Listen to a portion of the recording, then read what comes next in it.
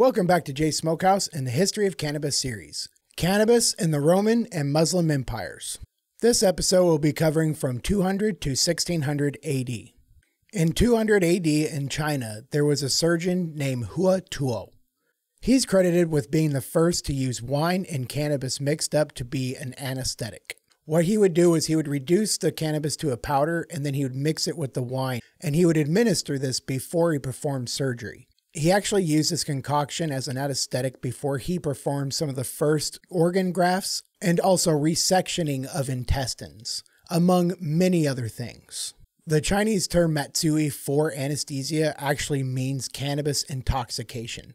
Also, the Roman Emperor Lucius Domitius Aurelianus, he lived from 214 to 275 AD, but it's known that he imposed a tax on Egyptian cannabis. In 751, there was a battle, the Battle of Talas. This battle was the Tang dynasty of China against the Abbasid Caliphate and the Tibetan Empire. The Abbasid Caliphate and the Tibetan Empire actually won against China. This is where they believed that the Muslims captured prisoners from China and they divulged the secrets of making hemp paper. Between 800 and 900 AD, there was an Islamic and an Arabic physician that really counteracted themselves with cannabis. The Islamic physician was named Rasis, and he loved cannabis. He prescribed it all over the place. But then the Arabic physician Ibn Wahshiyya, he warned everyone about cannabis being potential poison to everyone. So this is really where that debate started, is between 800 and 900 AD between these two physicians, it seems.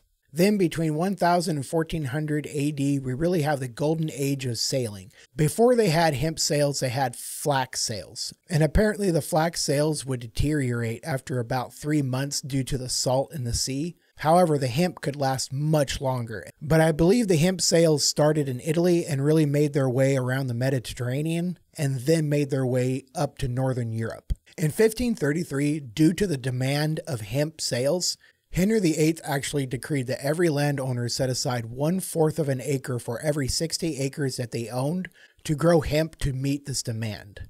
And then, even 30 years later, his daughter, Elizabeth I, she actually reimposed this decree. She would actually penalize him, I believe, five pounds for every one fourth acre that they were not actually growing cannabis on. So she took it a step further than her father. Now, on to the last one that really intrigued me the most William Shakespeare. They dug up a bunch of pipes that he was supposed to have used in his garden. They tested a bunch of these fragments of these pipes. They found three different residues tobacco, cocaine, and then also cannabis. But cannabis was prevalent eight times more than the other residue. So it seems that he preferred cannabis, and it also seems that it helped him in his writings. I found that really intriguing. Now let's go ahead and have our recap. Number one, the Chinese physician in 200 AD, Hua Tuo, was supposed to have used anesthetic for the first time with cannabis and wine. Number two, the Emperor Lucius Domitius Aurelianus imposes a tax on Egyptian cannabis sometime during his reign between 214 and 275 AD. Number three, 751 AD, the Battle of Talas, between the Muslim Caliphate and the Chinese dynasty. This lost China the control of the Silk Road and is also believed to be where they lost the secrets of their hemp paper. Number 4. Between 800 and 900 AD, the Islamic physician Rasis loves cannabis and prescribes it all over the place. However, the Arabic physician Ibn Wahshiyya really hates cannabis and says that it could be a poison. Number 5. The golden age of sailing with hemp sails.